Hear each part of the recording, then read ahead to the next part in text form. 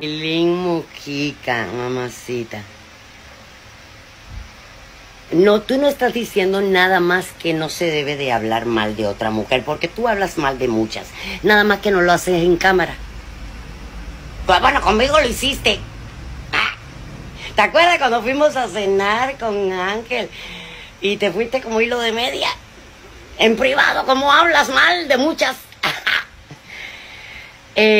Este, y no, no estás hablando mal. Te estás dando golpes de pecho y estás lamiéndole los huevos a las mustias como tú, que trabajan en ese programa, que además entre todas le lamen los huevos a la gente de Telemundo. Sometidas, todas, que si no hacen lo que ellos quieren, las mandan a la chingada porque son materia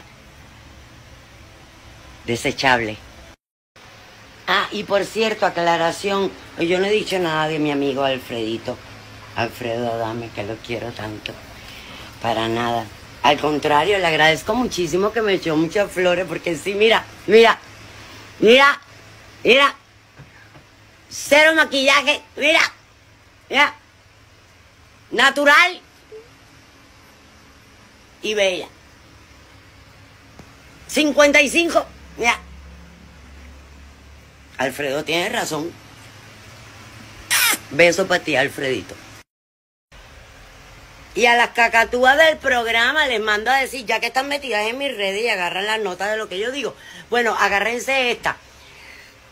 ¿Cómo no pueden vivir sin mí, perras?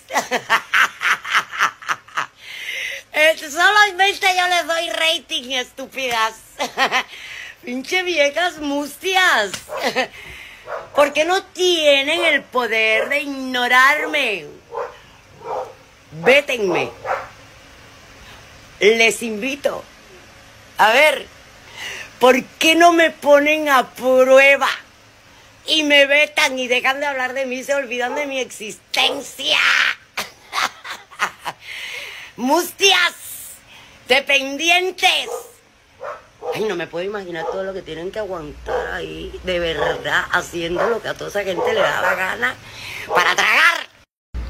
Y ya para cerrar con broche de oro, ay, qué linda estoy. Bronceadita. Oye, y ya que para finalizar esta, esta historia, dejen de inventar, ya vi una nota por ahí que pusieron de que si yo me fui contra Aileen y contra Alfredo. No, me fui a ubicar a Aileen Mujica, que es una mustia más. De toda la vida de Telemundo toda la vida, toda la vida, toda. ¡Mustia! Pero mi amiguito Alfredo no. Él no dijo nada, al contrario me echó flores y se lo estregó en la queta. Le estregó en la queta, pero ella es linda y tú operada.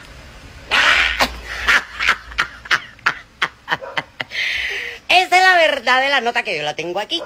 Dejen de inventar que el público, no subestimen al público. No, eh, ya ya había dicho, yo había dicho que ya había terminado con esa historia, pero me, me falta un detalle, me falta un detallito. para aclarar, como yo siempre hablo con la verdad. Entonces, para aclarar, Aileen, para aclarar, para aclarar. ¿Te acuerdas que me contaste aquel chisme de lo que te tenía enojada porque le dieron el antagónico a otra actriz y no a ti? Se te olvidó que me lo habías contado. Pues únicamente a una mustia como tú se le puede olvidar porque yo todo lo que digo me acuerdo. ¿Verdad? Estabas bien emputada.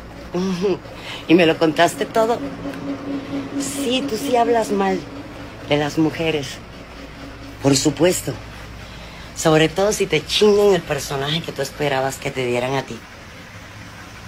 ¿Te acuerdas? No, si eres mustia.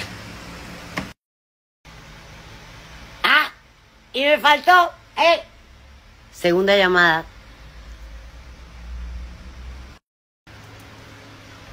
Ah, y un pequeño detalle. Pequeño, pequeño detalle, pequeño. Es que me acuerdo de cosas luego, no me puedo aguantar. No se lo dejaste a su esposa de Ángel, no, no se lo dejaste así como de que te lo dejo porque es desechable. No, no se lo dejaste. Ella es una reina, una mujer preparada, una mujer segura de ella, una mujer contempla, una mujer profesionista, una reina. Ella es una mujer muy segura de sí misma, tan segura de sí misma que nunca le ha hecho berrinches desfasados de vieja histérica. Ángel, porque ella es una mujer segura de sí misma. Y se ganó el hecho de que Ángel le pidiera matrimonio, porque es una reina.